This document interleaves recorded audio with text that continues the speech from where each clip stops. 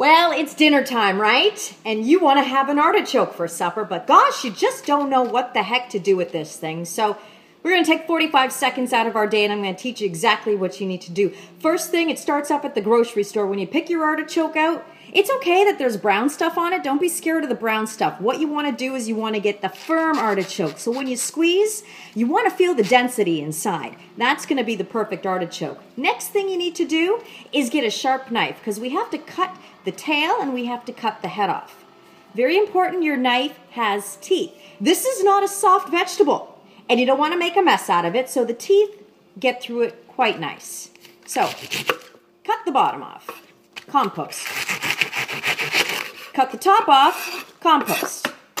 You guys still all have your digits intact? Perfect. Next thing you're gonna see, there's little prickly spikes on top of each of these leaves that didn't get cut with your knife. So you take your pair of scissors and you're gonna go around the artichoke and you're gonna cut these little spikes off. Very important. You'll probably have a little bit of a mess to clean because inevitably some of these things are gonna fly. They're gonna go rogue on you. Once we cut the tops, these little spikes, you're going to notice that there's some little baby leaves. They don't really have any meat to them, so don't worry about cutting the top of them. Just remove them entirely. Throw them in your composter. Bob's your uncle. So we're basically left with something that looks like this. Very cool. What we want to do is we want to stretch it out a little bit. And then we want to give it a quick little rinse under some cold water. Now, for the cooking instructions. You want to get a medium sized pot, and this is going to simmer in water. It's not going to boil, it's going to simmer. You want to be able to have the artichoke either in a steaming basket or sitting in water, with the water covering up the artichoke to about here. It should still lay flat in the pot. It shouldn't be floating away or anything like that.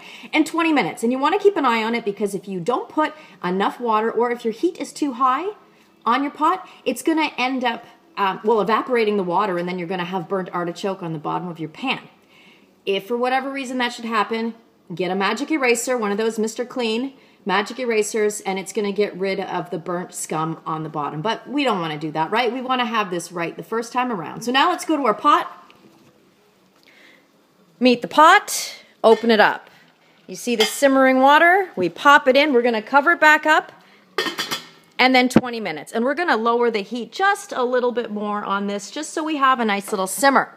Afterwards, we're gonna get some lemon juice, and we're gonna squeeze lemon juice on the top of this guy. So we'll just pretend that's done. You're gonna squeeze it just like this.